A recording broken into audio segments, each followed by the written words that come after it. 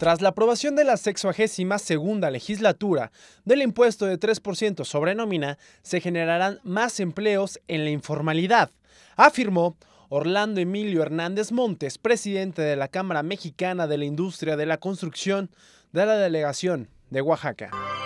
Consideramos que este tema todavía tuvimos, quisimos todavía tener una reunión con los diputados para que se diera marcha atrás sobre este, eh, sobre este incremento cosa que no se logró. Sin embargo, al interior de nuestras cámaras, nosotros hemos enviado la información para pedir su opinión y, por supuesto, asesorarnos jurídicamente para ver qué es lo que se puede hacer. Las cámaras empresariales se reunieron para derogar dicha disposición, ya que a finales del 2015 solo pagaban el 2%. Este incremento significa que el empleador tiene que pagar el 3% sobre lo que gana su trabajador. Por ejemplo, si gana 10 mil pesos, el empleador tendrá que pagar 300 pesos, mientras que a finales del año pasado solo tenían que pagar 200.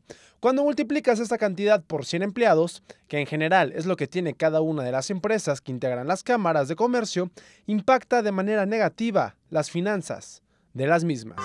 Y esto por supuesto que afecta, no solamente al patrón de la empresa, sino también le afecta al obrero, al empleado. Y ese tema pues es prácticamente lo que de alguna manera estamos tratando de evitar. El incremento de este impuesto para ellos fue del 50%, afirmó Orlando Hernández, por lo que propone que retomen los diálogos con los diputados locales para derogar esta ley. Asimismo, pide que el gobierno estatal regularice a todos los que trabajan en la informalidad para que el cobro de nómina sea parejos para todos en el Estado. Y sentimos que las cargas fiscales solamente son para las empresas establecidas ¿Qué es lo que está provocando? Que todos se vayan a la informalidad. Y eso es lo que tenemos que evitar. Por eso es que nuestra ley de obra pública va a ser urgente, porque tenemos que ver precisamente todos estos detalles y lo que yo creo que se tiene que atender es la informalidad. Porque de lo contrario, prácticamente nuestras empresas están condenadas a desaparecer.